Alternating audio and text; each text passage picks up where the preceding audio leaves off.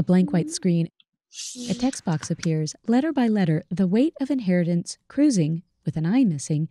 The cursor deletes and retypes. Cruising Joyce's house. Text remains on screen a few seconds, the cursor reappears, the delete key wipes the screen blank. Then, webcam shot of the artist wearing a headset in their studio addressing the camera. The artist will be a small inset on screen for this video. We start on YouTube at Diana Ross's video for It's My House, then navigate to the Bosley Real Estate Brokerage website for a 3D tour. All right, let's start. Um, start with this and so I'm going to take you to 497 Queen Street East in Toronto, Canada. Um, and I have visited this website a few times, and I'm almost a bit baffled that it is still there every time I come back because this house has been sold for two years. Yet the realtor, Ron Riemann, um, in Bosley, they just keep it up, um, which I actually truly appreciate because it allows me my memories of the place and a few other things. So, uh, just to get yourself situated, um, this direction is west. Um, and towards this direction is east, and we're on Queen Street right now. So if you go further this way, um, you'll get to the Don River. And right now we're standing in front of what was once Joyce Wieland's house. And this is a Legacy Toronto plaque that Jane Rowland, who moved in to Joyce's house after Jane, sorry, after Joyce died, um, rallied um, the city of Toronto to get put up. So it's not an architectural designation. Um, so renovations can and have occurred, um, but it's more of a cultural one. So yeah, I've been in this house twice. I've been in this house in 2016 at the invitation of Jane Rowland, who was living there at the time. And then I was in this house another time in 2018 at the kind of lukewarm invitation of the people who bought it from Jane. Uh, and yeah, just for some dates, I don't know when Joyce Wieland moved into this house. I know she moved into it to originally use as a studio. When she broke up and divorced her partner, her husband, um, she moved into it full time and uh, continue continue to make her work there, but also to live there.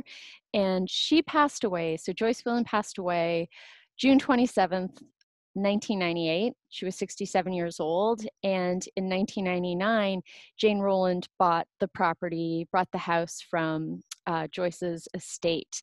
And Jane lived in the house until October 31st, 2017, when she passed away, also at 67 years old. And I met Jane first in 2016 when she wrote me uh, an email with the subject heading Raisins Over Passion, indeed, um, which of course is a riff off of Joyce Wieland's um, fabulous work called Reason Over Passion, and also the name of uh, a, a zine, let's call it a zine, a zine of mine, Raisins Over Passion. Anyways, uh, all this to say, I brought my partner Cait to 497 and Jane invited us in. She seemed very happy to meet another Joyce Wieland fan. And um, Jane's work, uh, and I don't mean the PR work she did for money, but her work um, for this house and for Joyce, Joyce's memory was really to create kind of a, a very unofficial um, house museum for Joyce Wieland. And a few of the things she very eagerly pointed out when we first got there um, were located in this room, which is the sort of uh, living room. Um, there are a few photos I've seen of Joyce using this area as a dining room. And there's this one picture which I absolutely love and couldn't find again. Um, it's lost in the, the veins of the internet. Had Joyce sitting here at her dining table. And um, of course, not of course it feels like an of course moment but um, these this sort of dark wood halo of bookshelves um, sort of sat above her in this very uh, kind of amazing regal way. So while Joyce, I don't think she actually made these with her hands. She did have them put in, um, as well as uh, these bookshelves right here. And when Jane was telling Cait and I about the space, she, you know, scaffolded it with this other thing that she had to kind of contend with, and that was owning, you know, a crumbling house um, and not having a whole lot of money. She lived um, in this house by herself, and as I said, she worked in PR. And um, yeah, it's a three story house, so a, a huge commitment. And um, at one point, and it was in, it was 11 years after Jane moved in, she got i don't know if got is the right way to put it but she invited um, justin and colin and or colin and justin of Colin and Justin's Home Heist, and I actually can't remember if it's Justin and Colin's Home Heist, but Home Heist is uh, one of those home renovation shows that aired on HGTV, which I think is Home and Garden TV, and where they would go in and uh, renovate a place, and you know the owners would be so happy because they didn't have to pay anything, and and TV, a TV show was was sort of uh, made from it, um, and so Jane was very adamant to tell us when they came in to take care of her crumbling home. She had them write, she had them sign um, a contract that they wouldn't touch any of the sort of infrastructure that Joyce had put in. And so this, um, as I, I, like to call it a halo of bookshelves. I'm sure there's a, a more official word for that. And, um, and this right here weren't touched. And uh, I've got a little image that I can show you that um, attests to that in a really nice way. So the interactive tour remains open in a web browser, paused on the dining room with its lemon yellow walls and dark wood built ins. The screen recording catches the artist pulling up and shuffling through three different photos, including one of the plain exterior of Joyce's house and bare birch trees.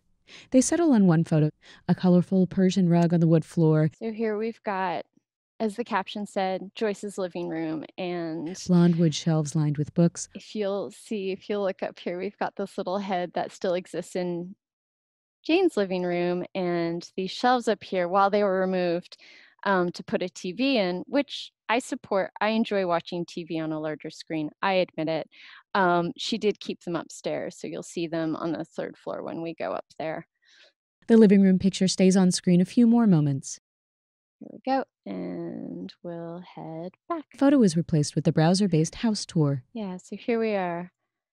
And yeah, this was the first room we went into. And yeah, I was really struck with how um, adamant Jane was to, to really let us know how the house had been changed against her will almost, but also how it had changed um, how it had stayed the same really and it's you know what time had done to it um, she also pointed out that these stairs which are covered with like a leopard print broadloom almost were not her choice but the choice of um, Justin and Colin. She then invited us into the living, nope, sorry, not the living room. We left the living room, we entered the kitchen.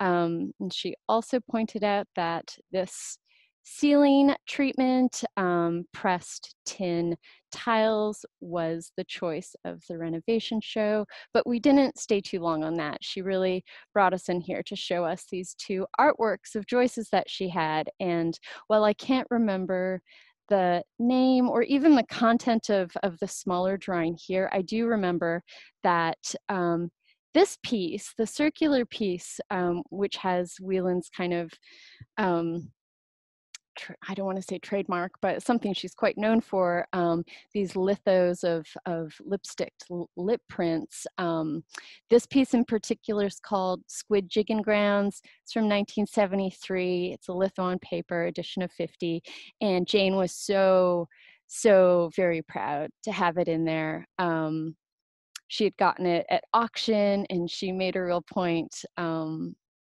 to tell us that she didn't have a ton of money, but it was really important to her when she could afford it and find it to have um, pieces of Joyce's um, in in the house. from there, she took us outside and showed us her incredible backyard, which didn't quite look like this when she showed us, but of course, this is Ron Reman's photographer's take on on this place. No doubt, some filters are are on this image, but um, these birch trees, I was lucky enough to come across uh, an image of them soon after I met Jane. And I remember sending this image to Jane, being like, "Hey, Jane, look, it's your uh, it's your birch trees or Joyce's birch trees." And in the book that I found this in, um, they had mentioned that Jane had planted these with her friend Monroe Ferguson. I wonder if Monroe Ferguson goes and visits them. The photo from earlier. Very healthy birch trees. All right, so. The tiny yard bare, save for the trees, in stark contrast to the real estate tour with landscaping, potted ferns along the porch railing. We didn't spend a whole lot of time out here, but it was nice to see those birch trees. And so then Jane led us to the hallway uh, to take us upstairs, and she didn't bring us to the basement. So um, we actually aren't able to view the basement. Uh, the only way we're able to view the basement is from, oh, hmm. They click around on the map function on the website. No, main, second, third. Interesting. We can't even access it from this. Uh, huh from this little sort of map over here. Interesting. I guess seeing basements um, in virtual tours or interactive tours of realtors isn't that important. Um, I did get to see the basement once, and that was in 2018. Um, as I said, it wasn't it wasn't with Jane, and that is fine. So Jane then took us up the stairs, and the first room we went into was this room. And I'm gonna just guide you uh, back here again to locate ourselves. So those are the birch trees that Jane planted with her friend Monroe. Oh, I hope I just said Joyce. Just as a, a disclaimer, um, Joyce Wieland, uh, Canadian artist, uh, experimental filmmaker, Jane Rowland, uh, amazing woman, PR, you know, she worked in PR, very different women, um, but so deeply entwined in my mind and, and such sort of similar names, I, the J's, I guess, that I often get them confused. So I apologize about that. Um, one other thing that Jane told us um, besides pointing out the birch trees again, is that when she moved in before this floor was redone by Colin and Justin. Um, and she didn't mention what kind of floor it was, but uh, she had said there were paint drops on the floor because while Jane used this room as her bedroom, Joyce had used it as her studio. So there were paint drops that, you know, from brush to canvas would have would have liberated themselves. Um, in the name of Joyce Wieland's creativity, imagination, drive, passion, desire, rage, all of it. Um, then we go this way. I will just, oh, we went too far. There's a, a haunting going on. We're being told which way to go, which I don't mind. I don't mind. Um, I want to just peek into this bathroom very quickly. Um, I'm not even going to say anything about it. Let's just say those aren't original tiles. Blue floor, um, patterned like rippling water. And then the next room we went to was the third floor, which is an attic. Um, here we've got those drawers that uh, Jane had told us about or that had been removed to allow room for the TV. So she did keep them. Um, when we were up here, it really didn't look that much like a bedroom as it does now. Um, I'm imagining everything that's sort of like hidden behind this um, folding wall was sort of out in the open. And in particular, there were two wooden cassette tape racks that were leaning up against this banister. And I can't remember what I said about them um, or what got Jane to gift them to me, but she did. And uh, they were cassette racks that belonged to Joyce that Jane held onto and couldn't seem to get rid of, even though she said herself she no longer had audio cassette tapes. Um, and if you've seen those kind of those racks before. They're they're very particular. It takes a very particular kind of object to um, to fit into them. And uh, I didn't take them. I said thank you. I said I wanted them so badly, but um, I had just moved into an apartment, a new apartment with Cait, and we had absolutely no room. And while I would have found room, um, I really wouldn't have, and Cait would have been upset. Rightfully so. Anyways, I move on. This is the last room that Jane took us to, and this is a room that Joyce had used as her bedroom and Jane used as her studio. And by studio, I mean her office again, I think this is the third time I've mentioned this. She worked in PR, so she was uh, very good at returning emails, which I'll always remember that. Um, and yeah, so she worked here and she pointed out a few things to us this kind of an incredible colic, uh, flowery, viney trim that goes around the entire room. Um, she said, at least I think she said was painted by Joyce. It might have just been put up by Joyce. Um, it looks as though it's actually painted on the wall as opposed to, you know, a wallpaper strip that's um, pasted on. And this incredible sort of object, this uh, sun bleached valence, valance. Um, yeah, I imagine it used to be quite a bright pink. You can sort of see a bit more of the color on the underside. Um, the glorious ravaging sun has done its has done its business on the outside. And it's interesting, it looks more like a jacquard now, but for the longest time I remembered it as a moire. Um, yeah, it really does look like a jacquard. Hmm. So yeah, I love this room. I love I love the image of Jane working in there with Joyce's place of rest right behind her. And by the looks of it, not much, you know, has changed. Perhaps like a new comforter, perhaps some new pillows, but you know, that might even be staging. I can't, I can't quite remember.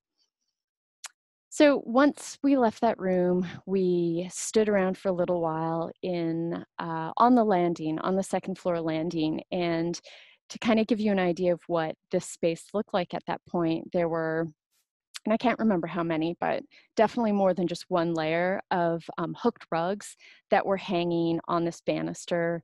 Um, I asked Jane about them, and she said she collected them but hadn't had the time to hang them up. And right here, um, something way more unexpected than hooked rugs um, were slabs of marble. Um, yeah, just slabs of marble. I think there were about three or four pieces, and this was not spectacular marble. It was, um, it looked like, you know, it would be used for um, a countertop or something like that. And I asked Jane about the marble, and she told us that uh, when she moved in, um, just before she moved in, I should say, J- Joyce's estate and some of her family had come through the house and taken, you know, the objects that they wanted, they needed, that they felt had some sort of value or cultural value um, that like an archive might want. But then there were quite a few things that were left over. Uh, thinking about that head uh, in the living room that's on um, the bookshelves. Um, that would have been left over, and this marble was just left there, and you know, after Cait and I left that day, um, I thought about that marble a lot and I wondered why she had just left it there. Um, because when I asked her about it, she immediately offered it to me. She's like, Oh, you like this? Do you want it? You can have it. It's Joyce Wieland's marble and I want you to have it. Please take it. And um, of course, I said yes. I was like, Oh my gosh, of course, just wanting a little piece of Joyce Wieland. And um, really that not needing marble not being a, a, sculptor not being a marble sculptor not being a mason stonemason um, not really knowing what to do with marble but i just wanted this um, piece of joyce so badly. And and also jane you know as the sort of conduit between um, joyce wieland and myself um, but to get back to what i was trying to say i was like oh you know that marble could have stayed there for so many reasons, partly as a reminder of Joyce Wieland, the person who had like inhabited this house and this, you know, important, amazing, critical, radical, angry, loving, you know, artist. Um, but also marble's heavy and she lived in this house alone. And, you know, it's quite possible that she just was never able to move the marble, right? Things move up, people move up, objects move up, smells move up, and sometimes they don't go down. The image jumps to a different room than back. Oh, here we are, the haunting again. So we'll go back downstairs. Um, we'll go back downstairs. Let's see the best way to do this. The carpet on the landing and stairs are a cheetah skin print. Here we go. All right. So I was um, high on my new inheritance, and um, Jane told me come when you have a chance to get it come when you have a vehicle with good shocks come when you have strong people men i believe she said um, i don't know why i just did that for men but uh, it felt like a moment um, to come get the rest of the marble because the rest of it was in the basement which we never got to see slowly dimpling the earth. The way she described the amount of marble was just it actually I will show you what it got me thinking of. So the way Jane Rowland described Joyce Wieland's marble in the basement of her house had me thinking, oops, let me try that again. Had me thinking this would be my life. Archival images showing people atop enormous cliffs of marble in a quarry and hauling giant hunks. Large, huge, huge unmovable of the earth, the earth, trillions of years old. I was just like, oh my gosh, this is out of control. This is out of control. My new inheritance. Oh my goodness. Back to the browser where we stand just inside Joyce's gray blue front door. Oh my goodness. Oh my goodness. So Cait and I left that day. Um, Jane had invited us to stay, have a little glass of wine, but um, Cait and I were going to the AGO to see Keith Cole perform, and that was just too great to pass up. So we said, Thank you so much, Jane. Thank you for Joyce's Marble. Um, we'll be in touch. And we left, and Jane and I emailed a few times over the next while, and then she passed away. And the next time, I know I've already said when she passed away, but just October 31st, 2017. And I learned that by um, her obituary in the Globe and Mail that Cait actually found for me. So the last time I was at this house um, was about a week before Cait and I were moving to Los Angeles. Cait had gotten a job. We pulled up and I went across the street to say goodbye to this house, um, to say goodbye to my marble, which was still in the basement, and to just pay my respects. And I looked in this window and I saw that the shelving, that halo of shelves, and the, the bookshelf with the little head had all been taken out, it had all been renovated. And this was, you know, this was the kind of infrastructure uh, that Joyce had put in that Jane had had been so um, adamant about and fought for.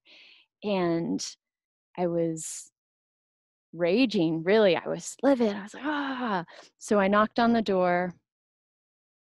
The door was answered, words were exchanged. I went downstairs and I left. And I left that day without my marble for so many reasons. Um, for so many reasons that are still becoming clear to me. But, you know, I didn't need that marble. I needed the gift from Jane of Joyce's marble more than I needed the marble. And yeah, Cait and I headed off this way to go see Keith Cole. On the sidewalk outside the red brick home, the screen now blank white. The cursor moves, a text box is added, typing out the credits line by line. The weight of inheritance. Cruising Joyce's house.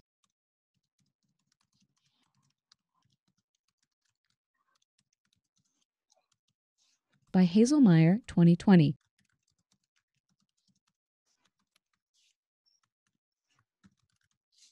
Thank you. Cait McKinney, Helen Reed, Cheyanne Turions, and Jane Rowland.